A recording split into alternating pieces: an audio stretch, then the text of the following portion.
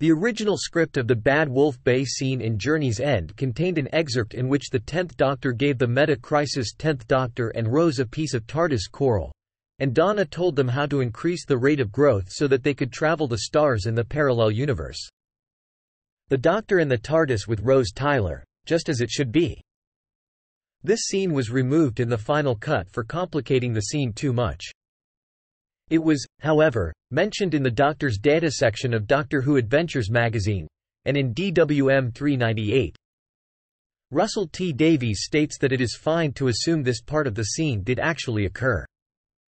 The scene is included on the Series 4 DVD box, set.